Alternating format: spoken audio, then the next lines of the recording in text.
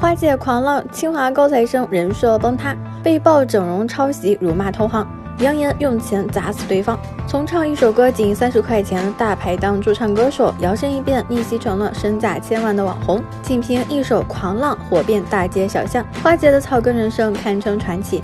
爆火之后，围绕花姐身上的质疑与舆论从未间断过。前段时间更是有网友爆料称自己遭到了花姐的辱骂和诋毁，内容更是肮脏不堪。该名网友称自己曾在某音乐平台私信花姐，想和她合作，不料却遭到花姐谩骂。你看我像是差人写歌的吗？你信不信老子花钱砸死你？花个几十万、上百万不是问题。你也不看看，你真是社会最底层的垃圾。此言论一出，引发轩然大波。花姐虽然曾经混迹夜场，但也是个公众人物。从其主页也能看出，她还自称是清华大学毕业的高材生，接受过高等学府的教育。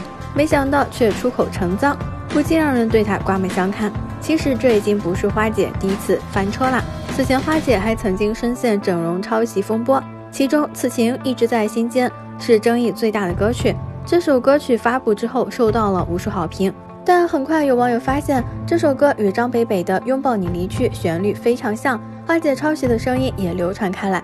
要知道，花姐的成名曲可号称是自己的原创歌曲。如果抄袭属实，那她的人气一定会受到很大程度的影响。抄袭传闻还未过去，花姐又陷入了整容风波。熟悉花姐的都知道，刚开始走红时，花姐是鹅蛋脸，如今却突然变成网红锥子脸，非但没高级，脸上却多了一丝塑料感，完全褪去了当初那种清纯卖唱气质。变成网红脸后，花姐的辨识度大幅下降。很多人刷到她的视频都认不出她是曾经的那个主唱。虽然如今的花姐已经失去了当初的灵气，但是嗓音还是一如既往的沧桑。不管事实真相如何，也改变不了花姐在粉丝的形象。我们都是因为歌结识花姐，没有必要因为一些没有根据的绯闻去质疑花姐。努力的人都值得被尊重。对此你怎么看？欢迎在下方评论。